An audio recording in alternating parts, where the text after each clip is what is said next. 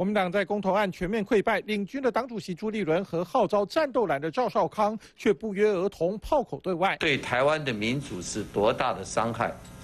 因为公投已死。当民进党打出蓝绿对决以后呢，这个选民就是这个他的选民。就真的是只问立场不问是非了。蓝营言论 IP 走偏锋，不少民众看不下去，纷纷留言要朱立伦说对不起，还要他辞党主席。若是永远检讨他人，主席还要当吗？我即刻起啊辞去国民党的副秘书长的职位。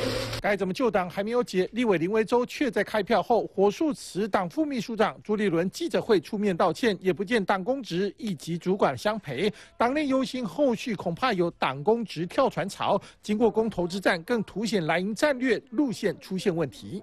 四个都同意。江启臣任内只推两个公投案，朱立伦却喊四个都同意。光是重启核四就让地方诸侯不愿跟进。朱立伦定调对执政党不信任投票，更升高蓝绿对立。战略上面一开始设定错误，他后面的战术全部都是走对决的路线，可是又没有团结各个执政的县市，不管是侯友谊的不表态，卢秀燕的呃比较回避，好，那甚至像呃其他县市首长，战略到战术到后面整个执行面，哦全部都出了问题。民进党用少数的政党动员去绑架全国多数的民意，因为中间选民有一半不知道要投票，对不对？战斗蓝和黄世修绑紧紧，激进言论却多次引发争议。战斗蓝成员出征党内诸侯，更引发内讧，也认为是败因之一。日本产经新闻台北支局长石柏明夫就分析，侯友谊的签字文是一篇公投中立宣言，显见侯市长不愿意被深蓝的政治亡命之徒绑架，是明智的抉择。更指出，把国民党变成本土化政党，是李登辉前总统想做而没做到的。若侯市长能继承李登辉前总统的遗志，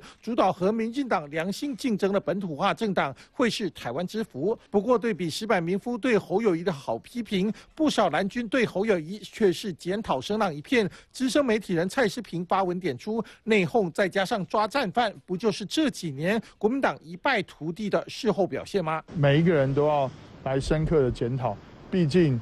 呃，这样子的一个结果，我想对于国民党而言，重要政治人物没有一个人是赢家，全都是输家。二零二二跟二零二四年，尤其二零二二年呢，我觉得国民党会是一场苦战。